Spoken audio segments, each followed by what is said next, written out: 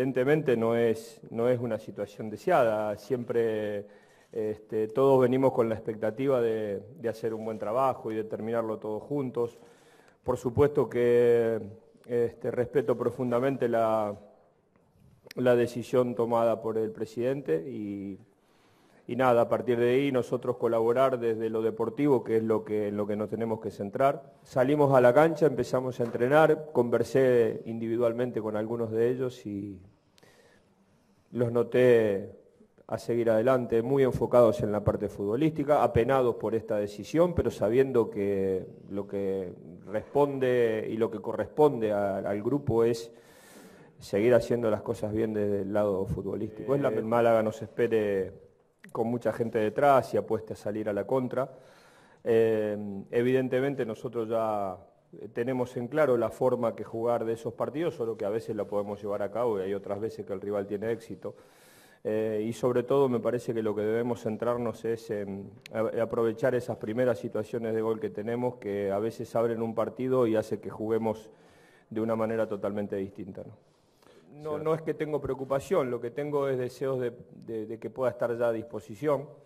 Eh, hemos tomado algunos días más para que siga haciendo trabajos este, diferenciados. Vamos a ver a partir del lunes cómo, cómo evoluciona y a partir de ahí creo que podríamos tener alguna certeza este, de cuándo poder contar con él. Eh, de todas eh, sí lo hemos hablado con él, que es una posibilidad en algún momento de algún partido. No me lo planteo como para empezar a jugar un partido este, desde el inicio de esa manera, pero sí creo que puede ser una, este, una variante que él juegue este, por detrás de, tres de, tres delanteros.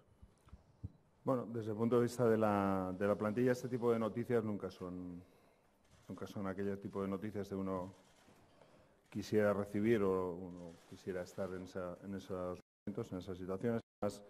Eh, sobre todo en el caso del presidente Rosell, que, siempre ha sido un presidente muy cercano a, los jugadores, al fútbol, al vestuario y a, todo, ese, proceso.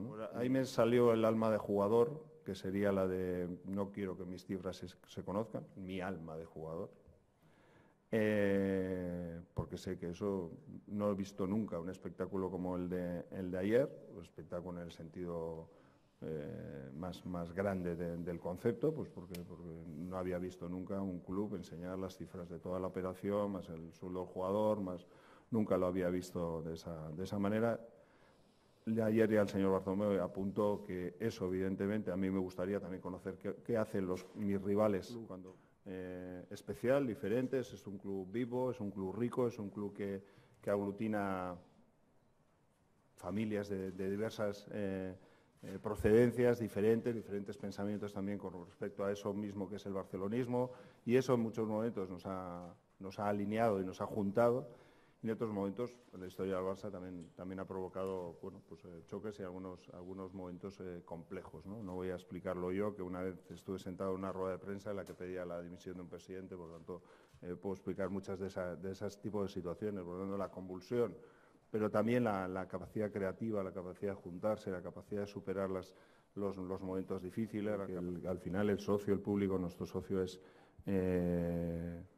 soberano para poder hacer, decir, expresarse en la, medida de lo que de lo que considere y de lo que y no creo que nosotros seamos ni yo sea nadie para orientar a la gente lo que debe o no debe de hacer en el, estadio, lo que, lo, que, lo que sería bueno, malo, regular, porque ellos al final el socio es el propietario del club.